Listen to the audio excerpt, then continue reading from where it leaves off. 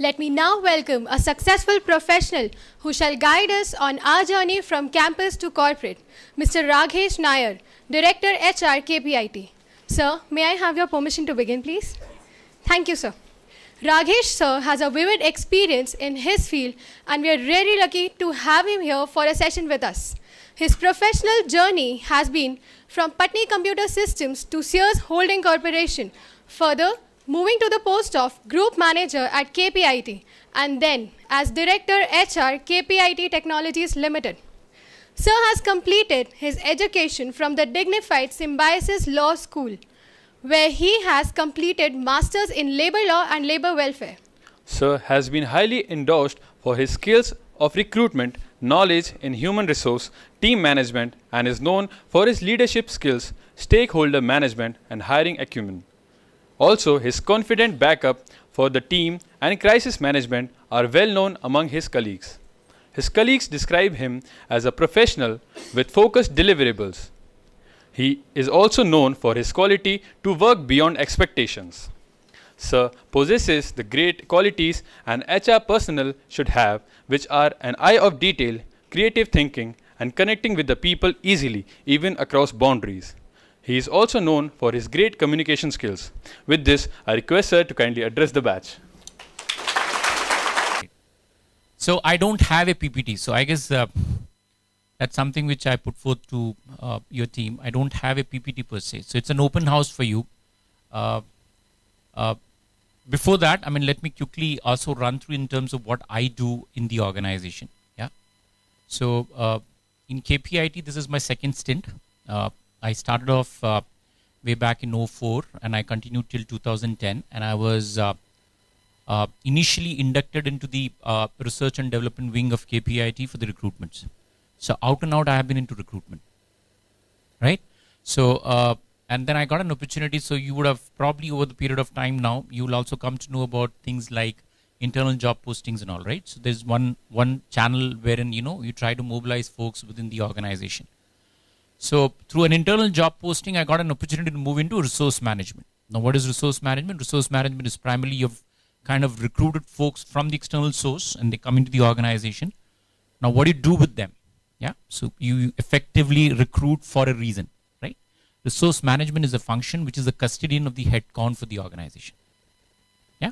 So I got an opportunity to move in there, and that was uh, the time when uh, the RMG function was uh, uh established in KPIT. So it was an early mover kind of an advantage what we had. So we, we, we got I got an exposure to kind of set up the entire process. Uh, you know, uh, resource management as a group helped me to kind of have a greater visibility within the organization. Uh, and then I got an opportunity to kind of move back into recruitment to lead the campus hiring. Yeah. So so uh, at that time, KPIT was uh, a shade less than 5,000 as an employee globally, right? And we are close to now 12,000 plus. Uh, and we used to kind of at that time also a very focused approach in terms of going for hiring. So when you talk about campus hiring, there are plethora of institutes around, right? Right, and obviously uh, uh, the options are one too many. So obviously our approach was not to kind of reach out to all. Our objective was in terms of which are those institutes which are kind of closely aligned to our value systems. What is it that we want to do? We, we typically wanted to challenge the conventional way of kind of reaching out and doing a hiring, right?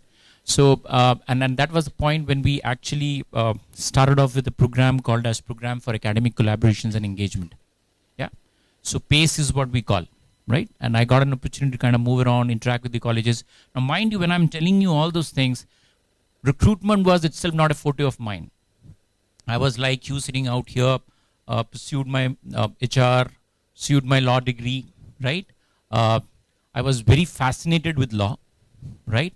Till this time I come across some case studies, my apologies, right? And those case studies were against the HR and the personal manager. So I said, I mean, that's not the right career option. right? To be on the receiving end. So this just coincidentally happened to kind of move into recruitment, start interacting with folks. That's where you come out of your shell, right? And it's such a wonderful career to kind of see to it that you have been interested with a task to kind of hire a resource, yeah, uh, which is to your organization's requirement, right? And and you try to kind of get into somebody's psyche to understand his or her strengths, Yeah, and then obvious questions while you run through the entire interview process in terms of why is it that I need to hire this person? And, and the dis- decision becomes so, so important, right? So, whole lot of things what you're going to kind of uh, learn next two years are going to put in play. Yeah, uh, how do you find that person in terms of communication? Attitude is something which we kind of very liberally talk about it. How do you gauge attitude? Yeah, how is it that you are so so now off late now? Uh, it's no more a candidate who has to take a decision. It's, it's, it's no more an employer who has to take a decision.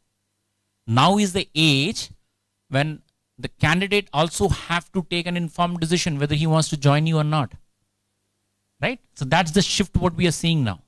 Yeah. So how is it that you speak to a candidate and it could be across the spectrum, yeah, and see to it that how you position your organization understand positioning, right? In terms of what your organization does, what are the value systems, what is the mission and vision, where did we start from? Yeah. What is our focus area going to be, and what are the things which we currently do, and how does that help? Apparently, ours was a success story in terms of like, uh, and, and, and you get hugely inspired when you talk about it. And I can talk about my own organization. The organization structure, what you're seeing right now here with plethora of offices across Pune, Bangalore, Noida, across the globe it started off from an apartment. Yeah, it started off an apartment uh, early uh, 90s. So, so when you see that kind of a growth journey, obviously you get excited about it, and that's the excitement. What you need to pass it on to the folks. There is this called captive. Have you heard about something called as captive? Captive is necessarily like the organizations which are primarily based out there, and they do have an offshoot of theirs which takes care of technology aspects of it. So Sears Holdings is a huge organization in US like Walmart, right? And it has a parentage of close to around 200 years plus. Now you have got an opportunity to kind of associate with a company which has a 200 years of parentage is like a phenomenal opportunity, right? So, uh, and and that was hitherto again unexplored too. They started their operations out here in Pune, and I got an opportunity to kind of head the online business vertical.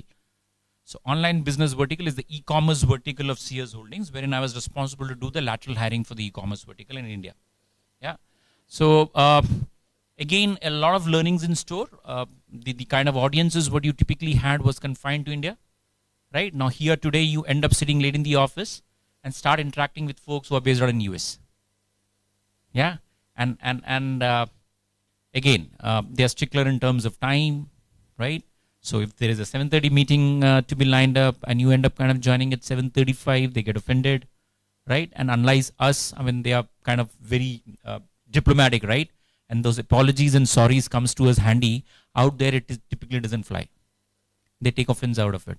So again, an element of learning which comes in, right? When you start interacting with people's uh, with varied backgrounds and all. So humongous experience uh, there, uh, interacting with all together a different set of uh, specialized folks who were obviously from an IT background with an IT specialization, but from a domain which is primarily more towards e-commerce and retail, right? So those were the kind of thing. Uh, so while all these things was having, I was adding on to the experience part of it and all this stuff. There was this always a realization, right? Uh, an organization where you would have probably started off your career with, yeah. Now the objective of me moving out of that KPIT was an element of comfort, right? And if given a chance to come back into the same organization and try to see to it that what you have learned you can implement, that opportunity got realized uh, in uh, November 2014, and that's what made me bring uh, back to KPIT. out here in KPIT, I head the campus recruitments. Um, I have a team, and we do recruitments now selectively, as I've said so. we we are primarily more uh, focused towards the tier one and tier two institutes from an engineering perspective.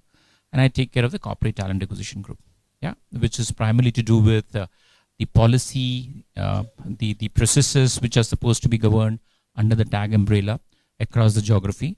Uh, plus, I am also responsible to take care of the vendor management activities for uh, the company. So these are uh, to my current profile right now. So uh, with this particular background, uh, and sans any PPT now, uh, and I was told by the previous speaker that you are a very lively audience. Are you? Very good. How does he or she take a call uh, how and how, how what is the various things how, what is it that we can do to kind of see to that the attrition is minimized each biz hr has a responsibility to connect with the floor uh, individuals. So there is a span of control what each hr person has got. Yeah? Every hr person is supposed to connect over a weekly basis number of employees. Yeah? What is this connect all about? Trying to understand in terms of how the work is going on. Do you have any issues happening? How's your manager? Yeah? Do you see any uh, interpersonal issues in your team? Yeah? Are you happy with the appraisals which has been done with you? So these are indicative things the kind of questions what you keep on asking. And where do you keep that so tomorrow so should there be some inputs which comes in which is uh, uh, slightly concerning in the sense that uh, i have been in this project for last 18 months but apparently now i'm looking for a change. Yeah? Now that person just because you as an hr has gone ahead and connected with that person has opened up. Right? Now he is not employed he or she is not employed anywhere else. Wouldn't that be a good lead? And these are the inputs which get served in your HR inputs. So eventually, when you speak to it, you record it. Yeah, and then somebody has to act on it. Yeah, so now this gets seeded into somebody's mind that I've been looking for a change and I've never got an opportunity in this organization. My manager will not allow me for whatever reason because I have been there stay put for long. Right? Now, as an HR, you have an important role to play because somebody has taken that input, it's there, visible, and you have to act on it. So it's all centralized now. All our databases are centralized now. Now we know who has been evaluated, who has been interviewed, what has been the feedback rating. Yeah. Uh, internal job uh, posting is something which uh, I have talked to, right? I mean, started the session. So internal job posting is from one project to the other project, one location to the other location, if at all the person is interested moving and there is an opportunity which exists. Now, uh, is that an interview which happens? The answer is no. It's more of a discussion right? In terms of uh, uh, more to do with the appraisal ratings. You kind of gauge it, right? I mean, in terms of uh, a person's performance, in terms of how he or she has been performing in the previous project. Yeah. So internal job movements happens through that, and there is a database available there. Yeah. So uh, in a nutshell, uh, and and now I know. Uh, have you heard about a word called as digitalization? Yeah, go digital. I mean, in our campus, everything is digital now you enter the campus, I mean, you know how many parking spaces are available and where it is. It is all digital. I'm so previously we used to take a detour in our office looking for a place. Today I know whether I have to take a left or a right. Left is all packed. Right, the indication is there are three slots available, and there are parking numbers which are maintained there. Yeah. Today, sitting at my place, I can actually order food in cafeteria. Is an app which is developed. Yeah, I, I can't have food at my place. It's not allowed. I still need to go to the cafeteria to have it, but I can pre-order it. I know menu. Yeah, today I can sitting at my place and you have to take uh, all the way to canteen five, five floors. Yeah, check, be on the queue and see that this is the food which I don't like. And then you take a call to step outside. Now I know what is the menu. So I can decide whether I want to go to cafeteria or whether I want to step out. Right? So life is becoming very easy. Yeah, so I'm not sure whether I would have answered in totality that. But uh, overall, these all things are encompassing and that's where we are kind of all moving and that is the need the hour now.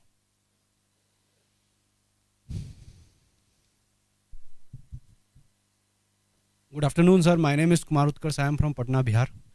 Sir, uh, I just want to ask, is it true or just a rumor? Like my sister is working in uh, Hitachi Solution as a marketing officer. She told me, uh, like I, I was a little bit confused between marketing and HR. So I just uh, got uh, suggestions. She told me that normally most of the company prefer girls for HR. Like, is it true or something? There is a, a scope for boys also because I, I have seen also so many. One example is here right in front. I think it's exception also. No exceptions. Uh, uh, very good question. Uh, and that's precisely something which all organizations are mandated to do now. Uh, uh, we are an equal opportunity employer. What do you mean by that? You have the skills and there is a requirement, irrespective of the gender, you're supposed to consider. And that discrimination is not allowed. Yeah and, and, and it's illegal if you're going to do it. There are there are countries outside of India where you're not supposed to even do that and kind of propagate that in your job interviews and uh, job uh, uh, requirements. Yeah, have you seen how many of times you would have seen females are required, males are required outside of uh, India? It's absolutely not allowed. Yeah, uh, there are there are certain set of questions which you're not supposed to ask in the interview. Excuse me, sir, but uh, like I worked in two months as an executive sales in uh, Allsec technology. Like they're hiring at least in front of my eyes at least six people for HR, and I think out of six, most of five are women's only. So what? It means they Probably- are preferring. No, no, no. That is not the case. Probably in all aspects, probably they have been looking for somebody with that kind of a background, and probably all these five females would have got it intentionally and knowingly, and it's not allowed in uh, uh, from a legal perspective to have those kind of a thing. Yeah. It's it's not allowed. I mean, you can't even ask for that kind of a thing. Right? And at least from an organization perspective of ours, I mean, it's purely based on the merits what you have. Yeah, you have the quality, you are qualified to do it. Say, for example, now there are going to be certain uh, positions in, uh, in our organization. Say, for example, we work on support projects, right? Understand what is a support project? Yeah, there is a thing which has already been developed. Now that thing has been utilized by the client. The client wants to have a support in case of some issues happening. You get electronic items, right? And you need a support, right? So there is a team wherein you call people. Yeah, looking at the geography where they are, the people are going to work late in the night. Yeah, Yes. at those cases, I mean, we specifically say so. Probably females may not be allowed. Yeah, but in sp- nowadays you will also see females are kind of working for those because there is like enough safeguards which has been put in place from a provisioning perspective. I guess Maharashtra is one place. I'm not sure, sir, but Maharashtra is one place wherein now that rule has come in that uh, the malls are going to be open, right? It's going to be open till we we hours in the morning, right? And the government is formulating a draft in terms of how do we protect the females working night shifts and all. But except those, we don't have any. Uh, Good morning, sir. Good morning, sir. My name is Harshit Sindal and I am from Indore. Sir, uh, my question to you is uh, there is a myth with uh, myth uh, related to HR is there is only a recruitment which is done in HR. So how can we explore the field uh, from the uh, organizational per- perspective that what uh, organization is uh, offering us so that we can uh, explore the new fields in HR? Can you explain, please? I couldn't understand the question. If you can, as in uh, what are the new what are the fields uh, other than recruitment in hr we can get get in uh, working and as in, in uh, to get in you mean to say the branches? Uh, yeah may, yeah branches So, so, I mean, you, within HR itself. yeah within hr So you have a performance management. Have a seat. So so we have uh, segregations within human resource. Somebody is good at numbers. Somebody who would like to kind of play around with numbers. Yeah, uh, and and and it's altogether very upcoming field, very promising field, which is the comp and benefit, compensation and benefit. Yeah. So there is a separate. Previously, one and all, everybody used to do it. Now that segregation has started happening. Yeah. So CNB is a team which is purely involved in terms of you know trying to see where the market is heading to, which are your competitors, what is the salary being doled out, because this is one aspect wherein the attrition, right? Yeah, if you're paying low as compared to your peers and your competitors, yeah, then then obviously you're inviting problem. You're going to lose out talent to those, right? So CNB is one team which is going to kind of work with the industry, which is going to work with the consulting gr- uh, groups, trying to see where we are heading, trying to rationalize with the management back, saying, so hey, this is where we stand, this is where it is, and this is imperative. Else, these are three things which is going to happen. Yeah, and and they are involved around the year to kind of do that. There's a performance management team which is purely into performance management. Uh, appraisals right? There is an HR uh, information uh, team. Yeah, we call it as uh, the data part. Yeah, which is purely data. We have got few data science now recently added into our team. Their job is to only churn out the data and come out with real-time analytics. Yeah. So uh, apparently, uh, one of the inputs we recently received was that, hey guys, you have been kind of visiting three years, so many colleges pan India. You have got around 1,800 people recruited, but have you even got a time to look into it how this 1,800 people are doing? Yeah, and this is how it is, right? Now, this input is very important for me, and that is something which I have put into use this year. Now, there are colleges which we hitherto said was a very good catchment area for us. Catchment area in the sense that we could kind of get maximum number of recruits.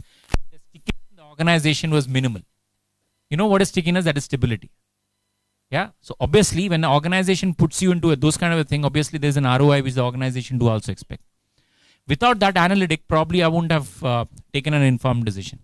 So that is one amazingly wonderful field, and that is just not confined to HR. That is confined to almost all the spectrum across functions. Wherein the more the data, the more uh, the power you have in taking decisions which are more rational, right? Uh, uh, then then uh, you have a business HR, uh, you know, uh, group which is primarily involved. So we have SBU, strategic business units, yeah, and and we have five or six strategic business units. So each business units have their HR leads identified. Yeah, if you have a flair to connect with people, trying to kind of empathize with them, trying to understand what is their real time issue, what is bugging to them, what they like about the organization, what they don't like about the organization. Yeah, uh, any of those other aspects of it. Yeah, and that that's that's something which will be able to make it out over a period of time. Yeah, business HR is a field for you. You can kind of day in and day out connect with the delivery managers, project managers, your uh, team members there, trying to get the pulse in terms of uh, how, how these employees are doing. Yeah, and taking the feedback and passing it to the relevant stakeholders so that preventive actions can be taken just in case there is something hitherto found. Yeah, so there are avenues, uh, uh, multiple avenues within there. Recruitment itself has got multiple avenues. Yeah, you have campus hire itself. You start off with the fresher graduate hiring. Now, now the myth is freshers are available in plenty, so hence becomes hiring becomes easier. The answer is no. Yeah, right. And and uh, typically see a lot of people starting off their career as a fresher hiring. They start with a lateral hiring and then move into fresher hiring. You have lateral hiring. Now we have geography-wise specializations. Yeah, you have skill-wise specializations in recruitment. Yeah, so so uh, I specialize in enterprise resource planning hiring. I specialize in SAP hiring. Yeah, you give me a vanilla Java J2 skill set, probably I'll not be able to do a good job because my focus is primarily over there. Yeah, I over a period of time specializing across multiple skills today, I have got an opportunity to work for APAC. APAC is China, Japan, those kind of places wherein communication itself is a problem. Yeah, how do you target those people and kind of make them excited to join your company? You're going outside your comfort zone and kind of evaluating a person who is outside of the country. And it could be as good as a foreign national there. Yeah, I have covered India, I have covered APAC. Now I want to look something outside of that. Europe is there. No, so it's recruitment only, but you kind of uh, you have segregation in terms of leadership hiring. Each of those things what we talk about requires a separate skill, yeah, separate proficiency there, yeah. So, so leadership hiring again calls out for having a connect established with the established, you know, uh, leaders. How do we kind of do them?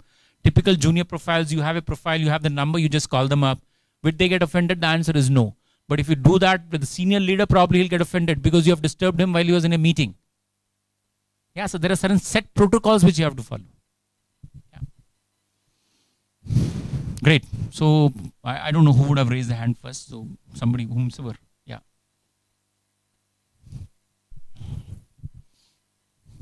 So does that answer or does that confuse you more? Yeah. Yes.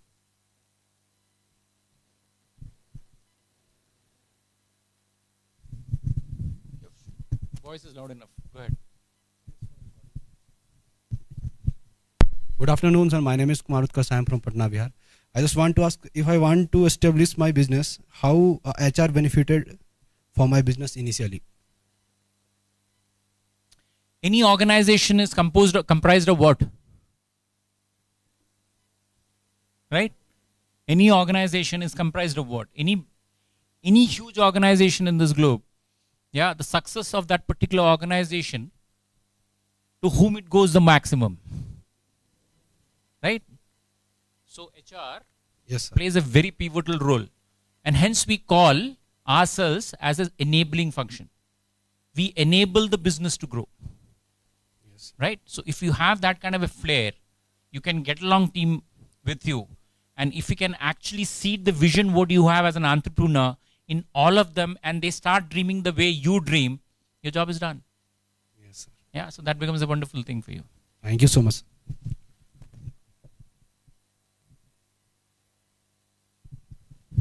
Hope I'm not exceeding the time, sir. Is very much on time. Good afternoon, sir. My name is Dinesh Chaitanya. I am from Vishakhapatnam. Uh, I was very much interested in this profession. So I wanted Which profession? to HR profession, human resource profession. So I wanted to know few things about this. And uh, my question, there was a buzz around that uh, some part of the HR might lead to automation. And uh, I just, my question is, I just wanted to know about the future of HR. So howsoever automation you will end up doing, the people connect will not. Could you imagine a situation wherein a robot is coming and speaking to you? It will not go. So HR automation is a reality and which is going to happen. But while this is going to be something which will be in play very soon, there are plethora of opportunities which are going to open up with for you. Right? So not be uh, at all subdued or constrained by any of those things which are happening. As I've said so, uh, you have to now not only kind of arm yourself with your functional expertise. Yeah, you need to also have a lot of exposure towards the technology part of it. You can't just say, so I am a functional person, I am illiterate in the technology aspects. Yeah, you are very easily able to navigate your phones right now. Right? If I'm going to ask you to kind of attach something and do that, yeah, you're not a technical person, but you're still able to do it, right? The way the technological advancements are happening, the real challenge what you guys are going to happen would be the functional plus how you kind of align that to the development which is happening at that point of time. Uh, you know, uh, being uh, we are extremely sensitive in terms of how you talk. Yeah, uh, in an organization of ours, that is something which is happening. Now, the way you talk to an individual also matters a lot. You can't. I mean, there are certain guidelines which you have been put forth. It's not coming as a surprise to the person who has been at the receiving end. I have done a mistake. Now you expect me to kind of let go, is it? No, right? So, so it's a very apt decision which has been taken, and there is no strictness around it. You, as I've said so, you as a department are custodians of the organization's conscience. Yeah, you are there to see to it that only the good things thrives in the organization. And should there be anything which is there, you have been empowered and entrusted with the responsibility to take action as deemed fit. Termination could be one aspect of it. There could be certain mistakes which an individual does uh, unknowingly yeah and and and the repercussions are less i may not take a decision to terminate all cases doesn't lead to termination yeah this this depends upon the gravity of that situation the gravity of that situation demands like in our organization there's a zero tolerance for unethical activities yeah you end up doing that knowing the fact that that is an organization policy you're inviting a problem why hr has to be blamed Correct, no? Thank you. In as much of uh, knowledge while you are here, but don't be overtly serious. Life is beyond all these things. Yeah? Take some time out, enjoy. Those who have come in outside of Pune, yeah, this is a wonderful city to be in. Yeah. So try to make uh, sure that uh, you have some fond memories about Pune, move around, see. Being merely in the class there is one aspect of teaching which happens when you go around, spread, move, travel. A lot of learnings come, right? You become worldly wise. Yeah, the wisdom comes in forms and shapes. Merely sitting and observing somebody, you can tend to learn something.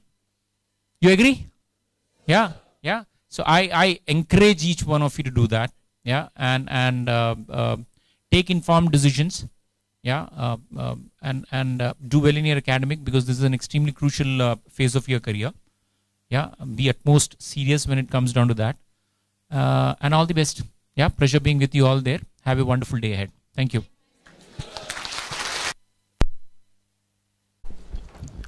thank you sir for your words of wisdom. I'm sure the batch has learned a lot